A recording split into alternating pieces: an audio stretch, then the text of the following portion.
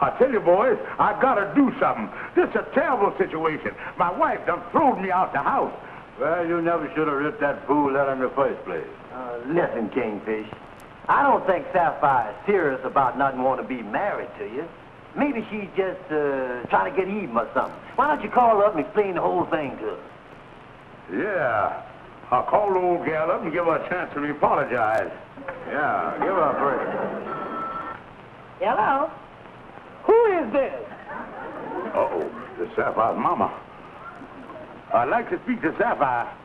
Miss Smith is not at home.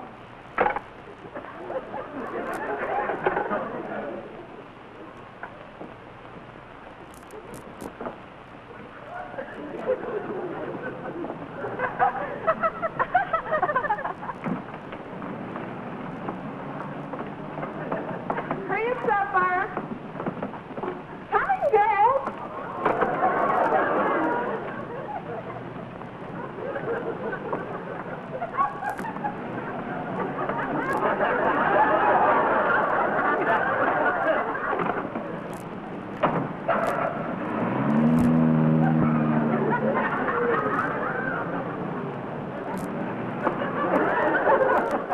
Kingfish, will you stand still a minute?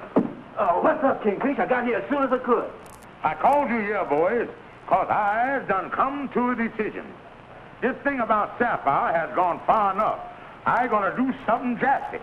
Well, what you gonna do, Kingfish? i gonna bring her to her senses. I is gonna be seen in the company of another woman. You got to do something drastic, that's all.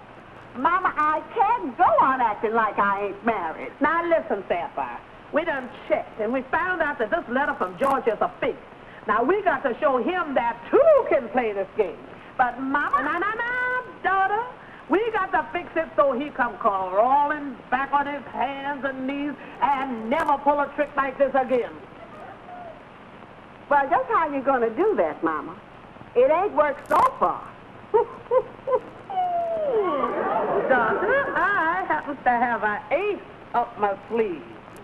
You is going to be seen in the company of another man.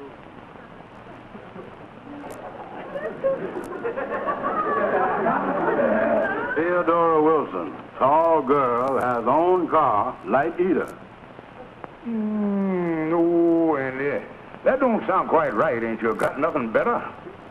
Well, let's see here.